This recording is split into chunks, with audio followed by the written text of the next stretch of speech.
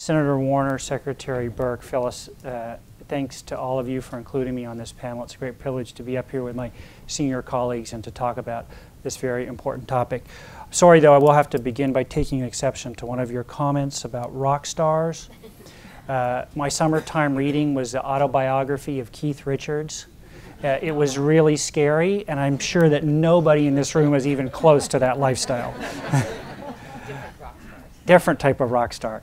So um, the, the, the, you know the, the, the the Pew Charitable Trust really let me down because they wouldn't let me use PowerPoint. The Army's all about PowerPoint.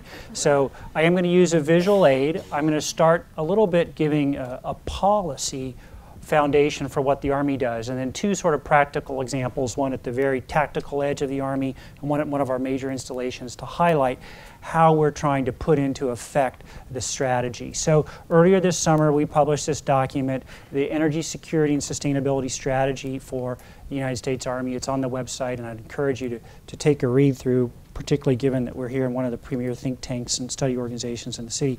And I'm going to use the document for, for my talking points, but its, its purpose is to develop a strategic roadmap to foster a more adaptable and resilient force that is prepared for the, a future defined by complexity and change. All right. It establishes security, resiliency, and future choice as the organizing principles around the Army energy strategy. And it looks at a ready force, secure resources, and resilient capabilities. These are all attributes that we feel are important to our mission success. Notice there's nothing in there about legislation, sorry, Senator, or executive orders, or one of the 163 energy mandates that are currently on the books. It's about our mission and how we could develop a policy and a strategy foundation to achieve that mission. It has five goals. The first one was very important. It's informed decisions. And this is about the human, the human capital factor. Every the services are huge and everybody in that service from a private to a general makes a decision that affects our energy. The private might throw out a battery, the general might say I want four feedings a day, gyms and, uh, and movie theaters in the field. Both of those have impacts on our energy demand. So we're really going to focus on the human dimension. We're going to talk about optimizing use, not conserving, not, not, not eliminating, but optimizing. Uh, we want assured access, which is critical this notion of resiliency. So I came to the department from Department of Energy where I talked about energy efficiency and insulation and building envelopes and solar panels. As I focused on the Army, it, it really is about resiliency and there's this tremendous connection between energy security and cybersecurity that I think that we have not yet fully played out to the extent that it's important. And then we conclude as our fifth goal, which is to drive innovation and if uh, Secretary Burke has probably read this part a couple times, we paid her a high compliment. We basically plagiarized this, copied it word for word from the first operational energy strategy that was written during her tenure. So the storyline, the two sort of vignettes I want to talk about is how we're applying this is on the tactical edge of the battlefield, combat outpost Giro. so as the Army's withdrawing from Afghanistan, all the equipment is coming out except for one set of equipment which was flowing in. That was energy we were moving new generators, new microgrids, solar panels, tents, and LED lighting against this, the stream of all the goods that were coming out.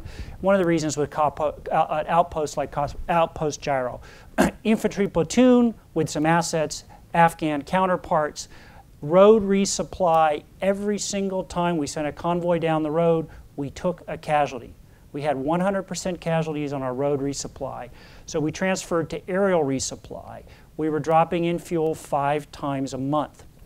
By deploying tents and lights and generators and microgrids and renewables, we dropped that fuel drop, we dropped that from five to two resupplies a month.